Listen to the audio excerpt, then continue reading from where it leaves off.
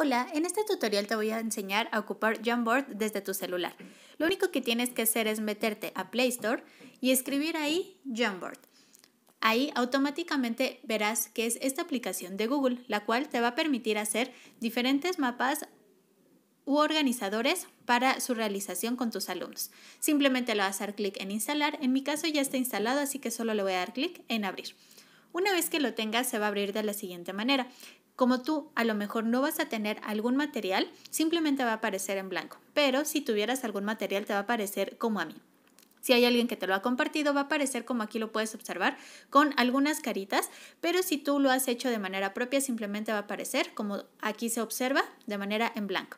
Tú le vas a dar clic en más y automáticamente se va a abrir una pizarra en, en la pantalla completamente blanca. Aquí te va a permitir que tú puedas elaborar las pantallas que tú desees, puedes agregar cada una o simplemente quitar. Y aquí te va a permitir que tú puedas escribir.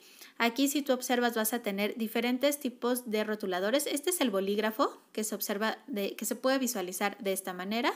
Este es el rotulador que se va a observar de esta manera, un poquito más grueso. Lo que es el plumón o como marca textos que se va a observar de esta forma y lo que es el pincel que se observa de una manera mucho más clara. Tienes a continuación lo que es tu gomita, el cual te va a permitir que tú puedas borrar todo lo que tú ya hayas hecho. A su vez tienes el puntero para que puedas justamente tú mover, en este caso alguna creación que tú quieras hacer. Si quieres hacer, por ejemplo, alguna carita, entonces te va a permitir que tú la puedas realizar. Y aquí puedes tú simplemente moverlo o eliminarlo. Y tienes el puntero el cual, bueno, va a aparecer o se va a poder quitar de la manera que tú desees. Aquí, si tú le das clic en el más, te va a permitir agregar una nota en el cual te va vas a poder escribir. Le vas a dar clic en esta flechita y se va a colocar en tu parte del pizarrón. Simplemente lo puedes tú hacer más chico. Con esta flechita lo puedes girar de la forma que tú desees. Y una vez que ya lo tengas, simplemente puedes tú darle más y puedes ver lo demás que contiene. Puedes tú agregar algún contenido que tengas en Drive, puede ser alguna fotografía.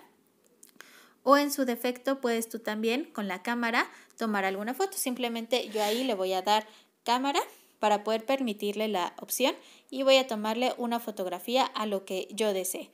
Una vez que la tenga, le voy a dar clic en esta palomita para que se pueda agregar y si tú observas se va a agregar la imagen en pequeño. Puedo hacerla yo mucho más grande o en su defecto más pequeña. Puedo aquí si te das cuenta me dice enviar al fondo o al inicio y de esta manera me va a permitir hacerla más grande. Con mis dos dedos los puedo juntar o separar o aquí simplemente con las puntas de la imagen y poderlo voltear de la manera que yo deseo.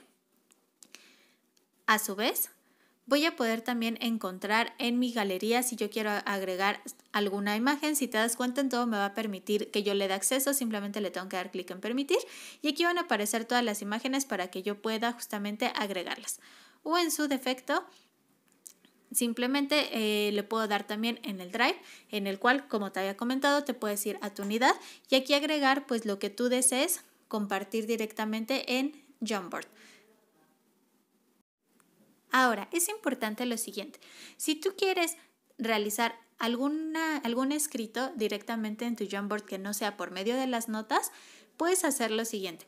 Donde están las herramientas del plumón, como aquí ya lo tengo desplegado, seleccionas el color que tú desees, automáticamente se va a aplicar para todos. Y en esta parte viene el asistente de herramientas.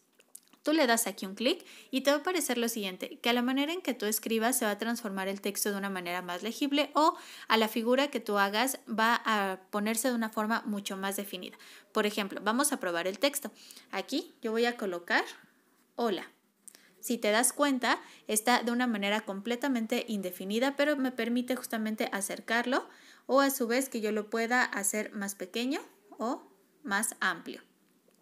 Y en este caso, si yo ocupo la parte de las formas, me dice lo mismo, que si yo quiero justamente la forma va a quedar habituada. Solo que aquí hay una pequeña situación. Si yo hago mi forma, esta en automático va a tener el mismo color de relleno, es decir, no voy a poder quitar el relleno que tenga la forma, pero lo puedo hacer más grande o más pequeño.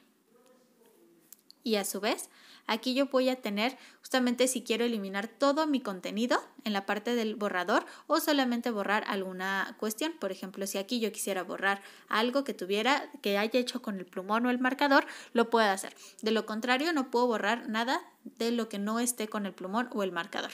O si yo quiero simplemente eliminar todo lo de mi pantalla, le voy a dar aquí en limpiar y automáticamente se va a borrar todo lo que yo haya escrito.